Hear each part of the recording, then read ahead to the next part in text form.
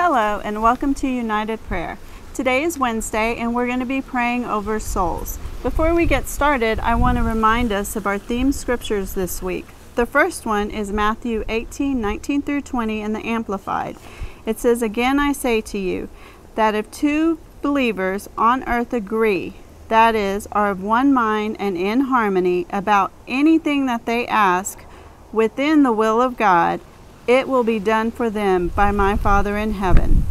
For where two or three are gathered in my name, meeting together as my followers, I am there among them. As we're gathering this week, we are two or more. As we're gathering in His name, He is among us. In Psalms 34 17, it says, When the righteous cry for help, the Lord hears and rescues them from all their distress and their troubles. As we cry out to Him, He hears us. He hears us and He delivers us and rescues us. So today we're going to be crying out for souls. We're going to be crying out for souls for the kingdom of heaven. In Proverbs 11:30 in the amplified, it says the fruit of the consistently righteous is a tree of life and he who is wise captures and wins souls for God. He gathers them for eternity. We are here to gather souls for eternity. We are here to be used. We talked about yesterday being a body of Christ, being a vital part. Each of us is a vital part to minister to others, to bring them into the body of Christ to minister the love of Jesus as we're crying out for souls, as we're praying for souls to come into the kingdom of God. We are His instruments, we are His hands, we are His feet, we are His voice. So we need to be able to do that. But the only way that we can do that is if we're walking in the fruits of the Spirit. We need to be walking in love, peace, patience, kindness, self control. If we're not walking in those things, how are we showing the love of Christ. To win souls, you must show the love of Christ. You must be love so that they want what you have. So today, as we pray for souls, I also want to pray for each one of you for boldness.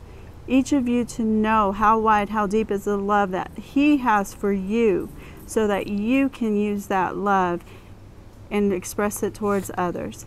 Father, in the name of Jesus, we come together in agreement according to your will, Father God. We're crying out to you for souls for your kingdom. Lord, we do not want anyone to perish in hell, Father God. So right now, we ask for boldness. We ask for direction. Lord, we ask you, use us.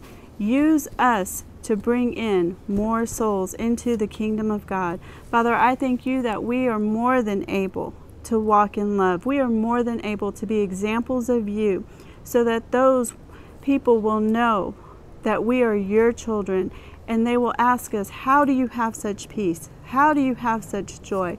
And we can share that with them so that they also can live in the victory that you have given them.